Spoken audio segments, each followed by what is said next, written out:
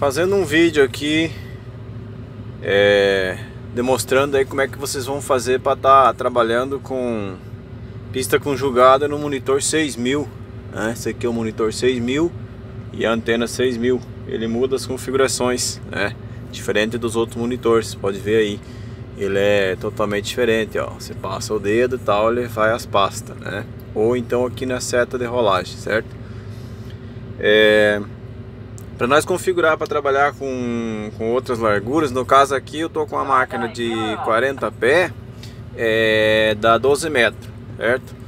E a outra que está conjugada com a minha é uma 35 pé, 10 metros e 40. Então a gente vem aqui, ó, onde diz aqui, ó, espaço entre pista, ó. Eu clico aqui, ele vai abrir essa informação aqui, ó. A folga de um equipamento para o outro, ó, a folga de 10 metros e 20. Essa folga aqui é a outra máquina, certo? Aqui, ó, espaço entre pistas.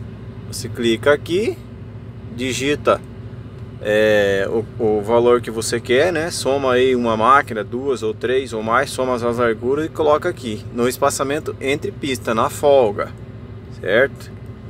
Nessa, né, nessa, nessa área aqui, né? Feito isso, digitou a largura, aqui eu estou trabalhando com uma de 12 metros e uma de 10 metros e 40. Descontei 20, né? Ficou com 10 metros e 20 de folga. Vem aqui e salva.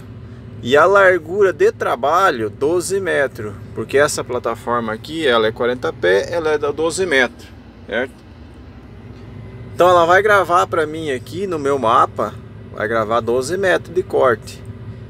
Esses 22 metros de conjugado vai descontar a folga de 10 metros 20 em largura a ser trabalhado, certo? Então esse aqui é um monitor diferente, monitor da, da, da linha da linha 700, né? Já é diferente. Então você vem aqui, salva, beleza, né? Então vai ficar aqui.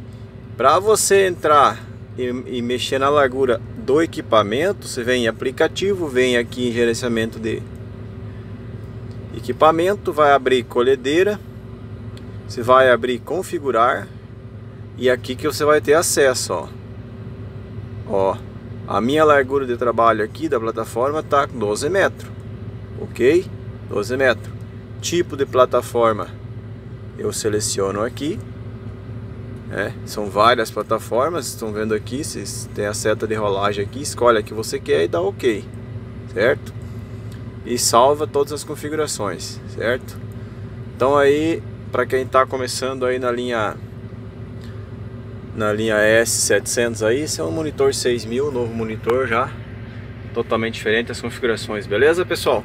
Aí mais para frente eu vou estar tá fazendo um outro vídeo aí, é, explicando mais sobre o monitor, beleza pessoal? Espero que tenha resolvido aí, ajudado vocês aí nas dúvidas aí, beleza?